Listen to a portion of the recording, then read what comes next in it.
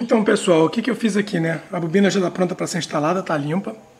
É, eu soltei a tampinha lateral aqui, né? A caixinha lateral toda, porque agora eu tenho acesso a toda essa área aqui, ó, que está muito suja. Eu vou ter que limpar tudo isso aqui, né? Tá tão ruim quanto tava o, o as bobinas. Vou ter que limpar toda essa parte de baixo do quadro. Aí eu vou aproveitar, vou tirar essas tampas do, do, do cilindro, todas essas quatro, porque essas aqui já vocês podem ver a diferença, né? Essa aqui para essa aqui. Essa aqui eu já cheguei a dar um, uma limpada e um polimento uma vez. Essa aqui eu nunca tirei do lugar. Então vou tirar agora as quatro, para dar uma limpeza e um polimento legal nas quatro, né? Porque essa aqui provavelmente eu não vou mais mexer nisso, porque é meio chato de tirar, com a bobina no lugar, né?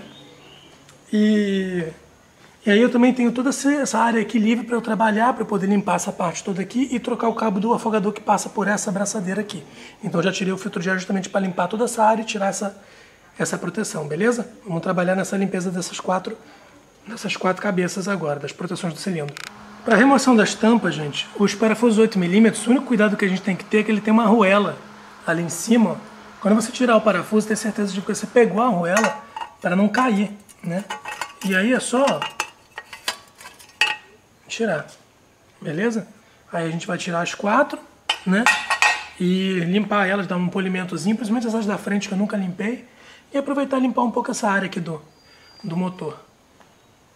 Ó, essa aqui é uma das mais chatas, porque mesmo com o soquete, você tem pouquíssimo espaço para trabalhar aqui. A única chave que eu tenho que dá para fazer isso é essa chavezinha aqui de 4 milímetros, né?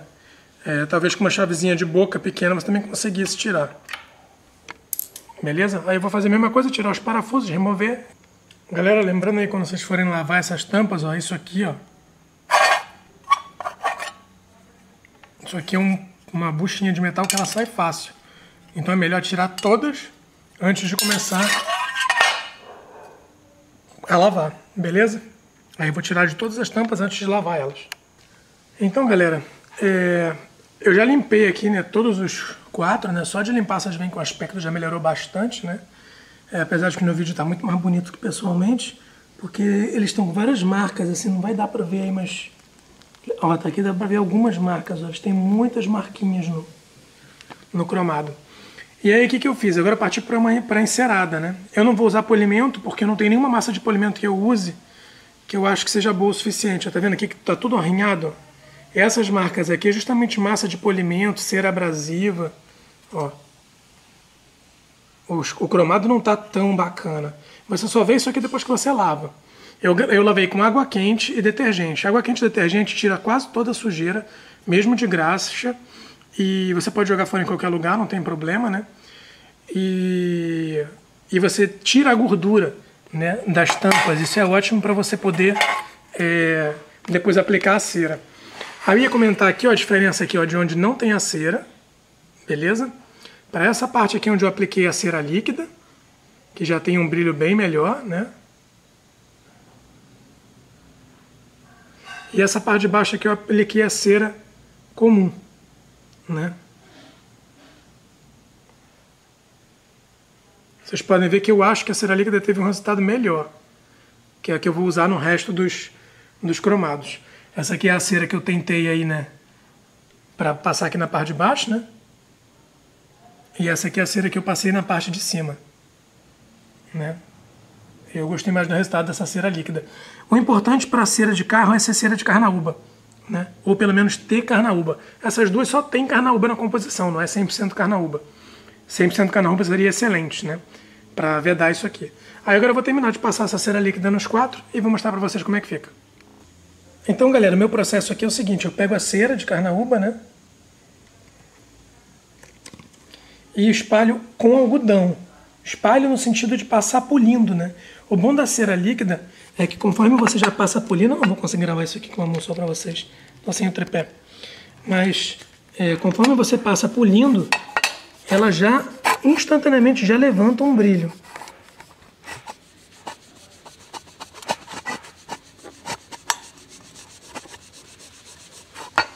Aí, ó, como já levantou um brilho bem grande em comparação com, com aqui, ó, onde não tem, onde não foi passado nada.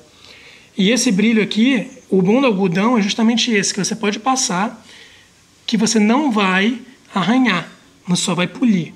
Né? O algodão é excelente para esses cromados. Algodão com cera líquida. Eu tenho gostado muito do resultado. E muito cuidado, por exemplo, se você deixar cair o algodão, o algodão vai pegar a sujeira. Né?